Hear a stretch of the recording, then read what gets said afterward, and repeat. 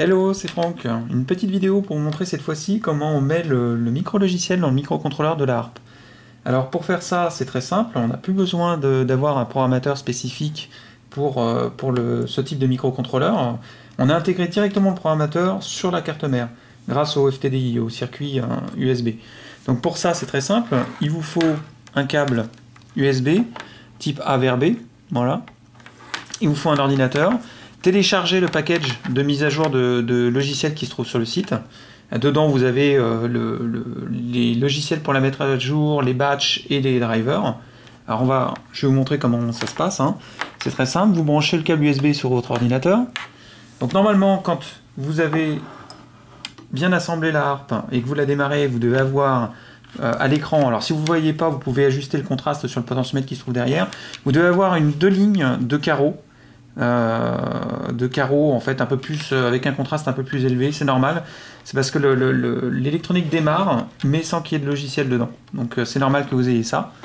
Une fois que vous avez ça, vous mettez tous les deep switch sur la carte sur la carte mère. Donc de 1 à 6, vous les mettez sur on. Voilà. Vous prenez votre câble USB, vous le connectez dans l'embase. Voilà. Donc c'est normal, vous avez une détection de périphérique sur euh, Windows. Là c'est normal, j'ai obligé Windows, euh, enfin j'ai désactivé la recherche sur Internet, donc je vais lui indiquer, lui indiquer manuellement le, driver. Donc je vais dans panneau de configuration, je vais dans système, je vais dans le gestionnaire de périphérique. Voilà, il apparaît ici, FT232 USB UART. Donc là, je vais mettre mettre à jour le pilote je vais lui indiquer où ça se trouve. Donc là, vous avez téléchargé votre, euh, votre package, vous l'installez par exemple sur, euh, D ou C, hein. vous créez un répertoire, donc là moi j'ai créé Laser Harp. Vous allez, dans, dans, ce dossier-là, normalement vous devez avoir un FTDI driver, un répertoire FTDI drivers avec un, euh, un fichier, un répertoire extract. Dedans vous avez les drivers, donc vous l'orientez dans ce répertoire-là. Voilà, donc il a trouvé le convertisseur. Donc en comme 11, impeccable. Voilà, donc là, une fois que ça c'est fait, vous fermez tout. Donc là, la harpe est prête à être programmée.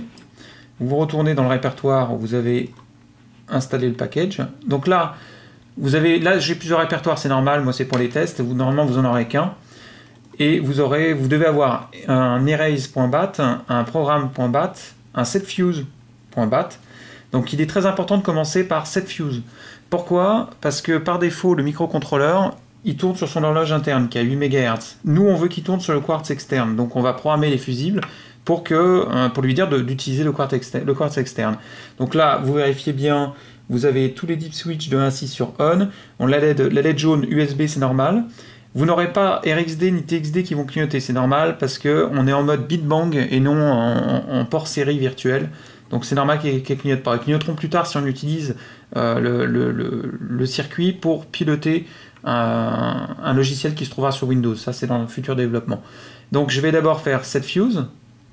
Voilà, donc là, il a programmé les fusibles.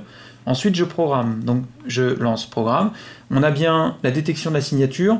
Donc, euh, il nous dit que c'est pas euh, la bonne signature pour un 644. C'est normal. C'est parce que utilise un 1284, mais Averdude ne le connaît pas. Donc, euh, j'ai forcé, je lui ai la main. Donc, c'est normal. Donc, non, on a, on a la programmation qui est en cours. Là, j'ai mis volontairement le code que vous aurez sur Internet, c'est-à-dire qu'il va m'afficher le numéro de série de la plateforme. Donc là, on laisse programmer.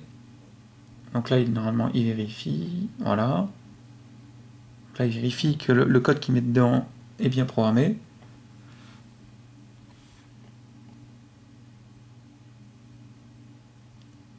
Alors une fois qu'il a fini de programmer, vous devez remettre le deep switch numéro 6 qui pilote la ligne reset à 0, à off.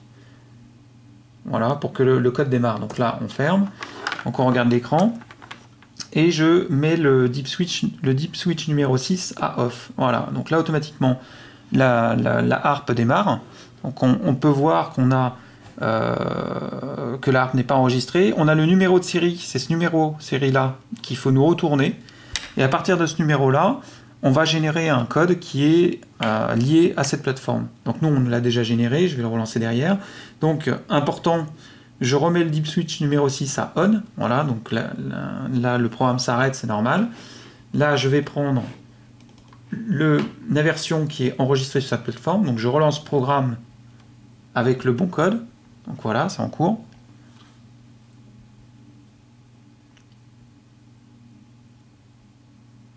Et là, pour le test, on prend euh, le prototype pour Sylvain.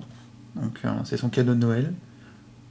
C'est pour ça qu'on va voir son nom ça va apparaître à l'écran.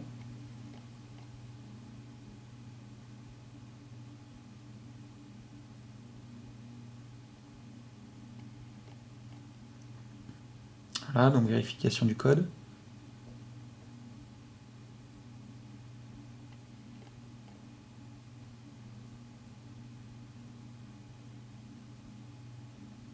Ah, ça prend une trentaine de secondes à chaque fois.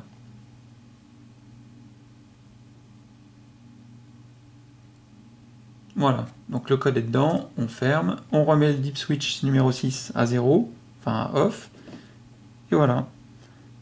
Le code est dedans. On a bien bienvenu Sylvain. Donc là, on peut remettre tous les autres switches sur off, déconnecter l'USB.